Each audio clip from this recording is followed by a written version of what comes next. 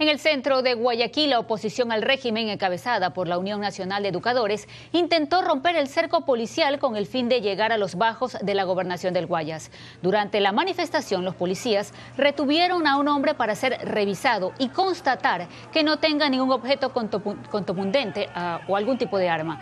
Tras la marcha, la policía logró mantener el orden público y los manifestantes se retiraron del lugar.